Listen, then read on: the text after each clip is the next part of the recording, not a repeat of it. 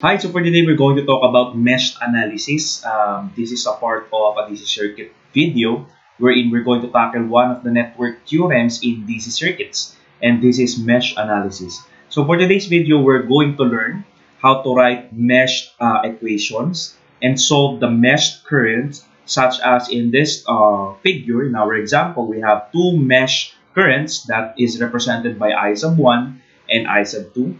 And uh, for this uh, video, we're going to solve the what are the values of the branch current I sub 1, I sub 2, and I sub 3.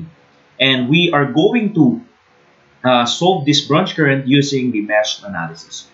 So first of all, how do we write the mesh equations? Okay, for this uh, example, we have two meshes and we have I sub 1 and we have the I sub 2. As you can see, they are in the uh, clockwise direction. Okay, so how do we write those uh, meshed equation? So for example, in our mesh 1, okay, so mesh is basically just like KVL, okay. How do we write our equation for the mesh 1? So here it is. So we are going to have a loop around this mesh. So as you can see, this mesh I sub 1 okay, involves, we have 15 volts, we have the 5 ohms, and we have the 10 ohms, and finally we have the 10 volts. So we can start at any element in the circuit as we perform mesh. But it is a practice that we should start here okay, in, a, in a voltage source. Okay? And the sign that it enters, okay, that would be the sign of the voltage source. Okay? So, let me give you a an example. So, we first start with the 15 volts. So, it enters in a clockwise direction of the current. It enters the negative terminal of the battery of the source. So, that would be negative 15 volts. Okay? And the next thing we are going to do, okay, by counterclockwise direction, here is our first element. And we come with the 5 ohms and the 10 ohms in the clockwise direction. So what will happen is that if this uh, 5 ohm and 10 ohm is uh, is uh, being uh, in the mesh I sub 1, what will happen is that we will have we will add these two uh, resistors. So we have 5 ohms plus 10 ohms and that is multiplied by the mesh current I sub 1. I'm so sorry. This should be in small case i sub 1. Okay? So you will you will write, you will get the sum of the the resistances being uh, in the mesh i sub 1. Okay? So that should have a positive sign. Okay? You will simply add all of those resistors being included in the mesh i sub 1. And of course, what will happen? This 10 ohms is also a part of I sub 2. So what will happen is that we will be having a minus sign here, okay, then we're going to multiply 10 ohms by the I sub 2. It's minus because we are referring to the mesh 1 and the current in the mesh 2, okay, is I sub 2 in the 10 ohms. So it should have a negative. and uh, of course, we must not forget that this mesh current I sub 1 enters through the positive terminal of the voltage source, 10 voltage source. That, that is equivalent to 0. Again, the recap, we, we should have a recap of what we did. So first, we have a mesh, we perform a KVL, okay? Like uh, in our mesh analysis I sub 1. So mesh I sub 1 from the uh, 15 volts source, it enters negative 15. And then, what are we going to do next is to add all of the resistors, okay, being included in the mesh I sub 1, and that is plus, okay, plus quantity 5 ohms plus 10 ohms, and it is I sub 1. And of course, we have to consider that this 10 ohms is also included in the mesh I sub 2. But since we are on the mesh I sub 1. We are writing the equation for the mesh I sub 1. So this should be minus 10 ohms multiplied I sub 2. And finally, the I sub 1 enters the positive terminal of the 10 volts, so it should be 10 volts, and that is equivalent to 0. So, I'll drop the units. So, we have negative 15 plus, we have 10 plus 5 is 15 I sub 1 minus 10 I sub 2 plus 10 is equals to 0. So, if we are going to uh, simplify this, we have 15 I sub 1 minus 10 I sub 2. Negative 15 plus 10 is negative 5. Okay, and we transpose it on the right side, we have 5. And this is our first equation for our first mesh. Okay, and again, we have two unknowns, i sub 1 and i sub 2. So we should have two equations in order for us to solve these two unknowns, i sub 1 and i sub 2. So, same process for writing the mesh equation for our i sub 2.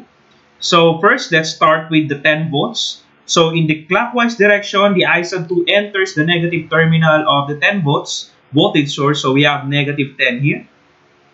And again, we're going to add quantity plus quantity all of the resistors involved in the mesh I sub 2. So we have 10 plus 6 plus 4 multiplied by I sub 2. That's positive because it is included in the mesh analysis of I sub 2.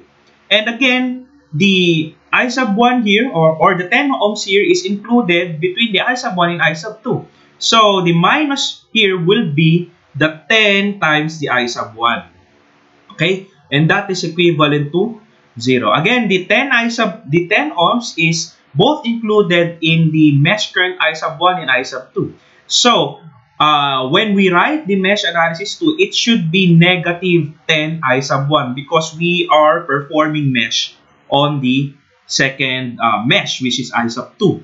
Uh, if you wish to recall, on our mesh I sub 1, okay, the negative part there is the I sub 2 because this 10 ohms is being shared by the I sub 2 whereas we uh, complete the loop by the I sub 1. Okay, I hope you are uh, you, you get what I'm trying to say. That's that's how we write the mesh equations. So simplifying, we have negative 10 plus 10 plus 6 plus 4 is 14. Now, I mean, that's 20. I'm so sorry. 10 plus 6 plus 4 is 20. 20 i sub 2 minus 10 i sub 1 is equal to 0. Uh, arranging that, so we have negative 10 i sub 1 plus 20 i sub 2 is equals to 10. And that is our second equation. Now, the circuit analysis part ends here. Okay, so we have the equation 1 and the equation 2. The only thing that you need to know about mesh analysis is how to write the mesh equation. And we need, uh, and I've uh, already shown it a while ago, a while ago uh, how to perform these mesh equations. So the next thing is be able to solve simultaneously what is the value of I sub 1 and the I sub 2. Okay? So we can use any methods Okay, since this is since since this is a linear equation, okay, we can solve by substitution, we can solve by elimination, we can solve by Cramer's rule, of which that is my my favorite rule, okay, in solving the unknowns for uh, every equation. So, if I'm going to rewrite again our equation, okay, so our equation is 15 i sub 1 minus 10 i sub 2 is equals to 5. That's our first equation. Our second equation is negative 10 i sub 1 plus 20 i sub 2. Okay? 20 i sub 2 is equal to 10. Okay. So, we can solve okay, this equation i sub 1 and i sub 2 by uh, elimination. Let's try. So, if I'm going to multiply this equation 1 by 2, Okay? All of them by 2. So what will happen is that this would be 30 i sub 1 plus 20, uh, I mean minus 20 minus 20 i sub 2 uh, is equals to 10 and we have to rewrite our second equation plus 20 i sub 2 and that is equivalent to 10. Okay, if I'm going to add uh, these two equations, okay, so, so we can solve it by substitution or elimination. So as you can see, negative 20 i sub 2 plus 20 i sub 2 will be cancelled. And we have 30 minus 10 or plus negative 10, that's 20 i sub 1. And 10 plus 10 is equal to 20, of which we can easily solve I sub 1 and that is 20 over 20 which is equal to 1 ampere. Okay? And finally, when we solve I sub 1, we can solve I sub 1 in any of our equations here. It's either the equation 1 or equation 2.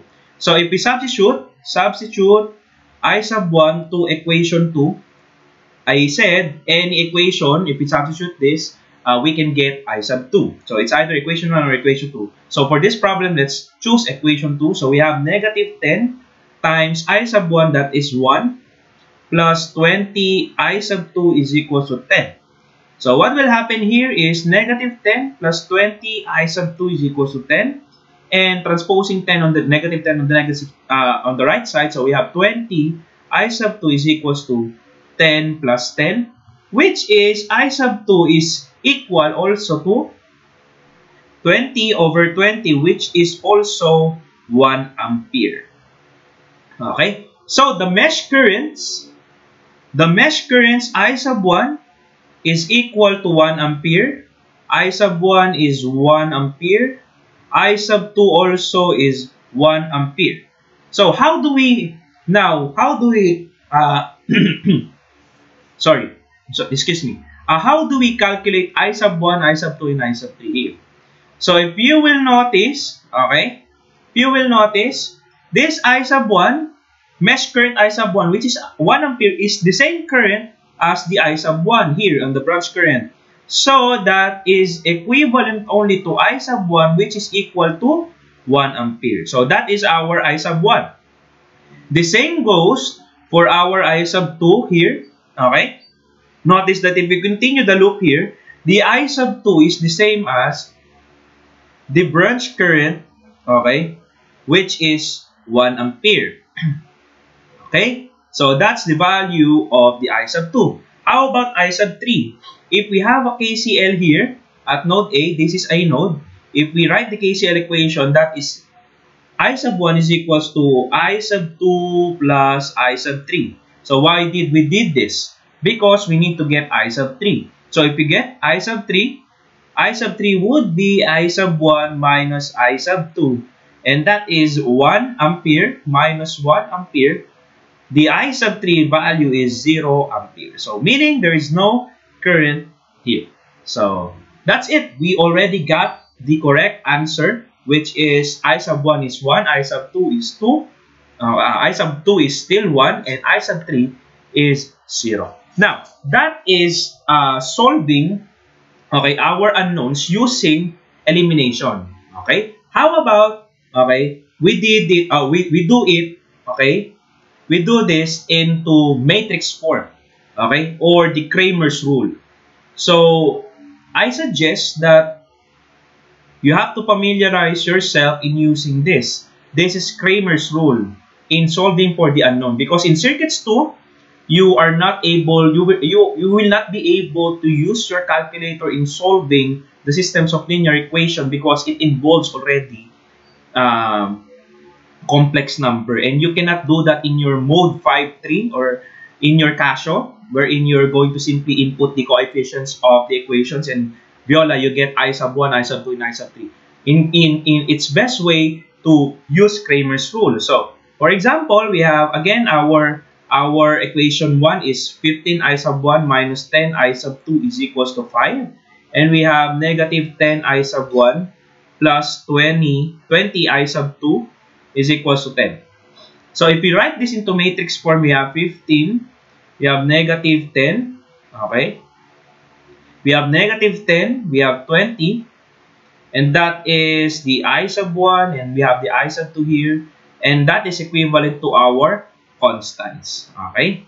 So that's how we write this into matrix form. This is in I sub 1. This is in I sub 2 co coefficients of the I sub 2. And this is the constant. Okay. So what are we going to do is we're going to get the determinant. Okay. We're going to get the determinant, let's name it delta, of this coefficient. So get the determinant of that, 15, oh, negative 10, negative 10, and 20.